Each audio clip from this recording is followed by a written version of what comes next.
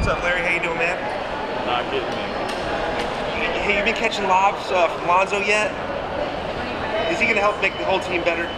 He's going to make everybody better. That's fantastic. Can we expect uh, some, some showtime this season? I certainly hope so. Hey, have a good day. Hey, is LaVar Ball gonna be on the sidelines?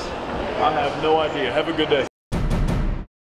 If you like what you just saw and you want to see more videos of your favorite athletes, crazy stories, and just all the best off the field stuff, uh, subscribe to the TMZ Sports YouTube channel. The subscribe button is right here, and check out more of our exclusive content right here.